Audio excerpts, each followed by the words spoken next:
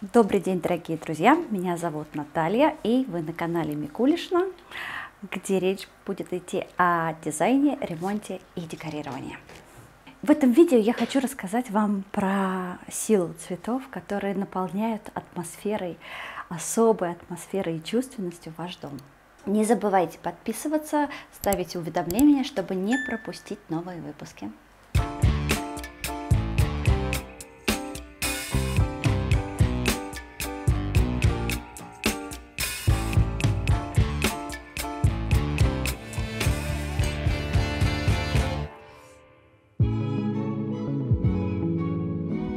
Живые цветы – это всегда непередаваемое совершенно а, впечатление о доме. Они наполняют буквально все своей энергией, наполняет и женщину определенной энергией, которой она делится в дальнейшем со всеми, кто ее окружает. Сделать женщину счастливой очень просто, нужно подарить ей цветы. Но если вам их не дарят, это не значит, что они не должны случиться в вашей жизни. Совершенно спокойно я покупаю себе цветы сама, не дожидаясь, пока мне подарит их муж.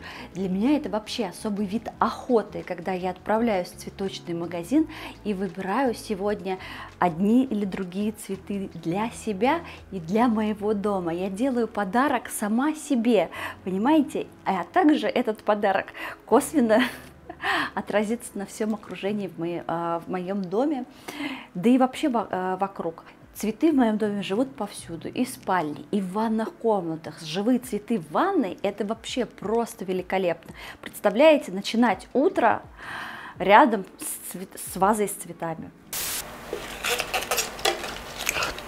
тебя откусил прям как.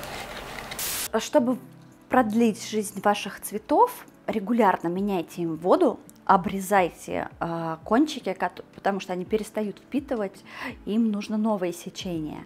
Р розы надо срезать э, под водой тогда они пузырики не будут успевать пробег э, воздуха забивать стебель, и цветы будут дольше жить. А еще может продлить жизнь подкормка, она называется кризал. Добавляйте один пакетик на 2 литра воды, и будет счастье.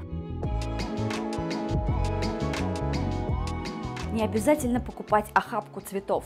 Есть вазы, а, в которые можно поставить один или 2-3 цветка. Можно собрать из разных ваз композицию и в каждую из них поставить по одному цветку. Можно выбрать эм, такие, бывают колбочки, в них тоже по одному цветку. Летом прекрасно рвется все, что растет, только не с клумбы, конечно, не соседской, не городской, а любые полевые цветы. Также ветки. Зимой э, прекрасный выбор это еловые ветки в вазах с ягодами или с какими-то небольшими игрушками. Отличное настроение обеспечено. Есть цветы, которые стоят очень долго. Или отличное решение. Опять отличное решение, твою мать.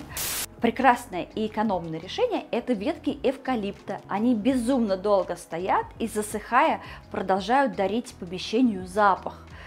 Можно использовать их как сухоцвет.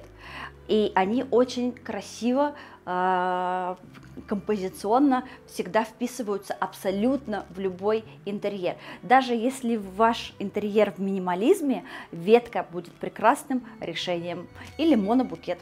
А я прощаюсь с вами и до новых встреч в новом выпуске.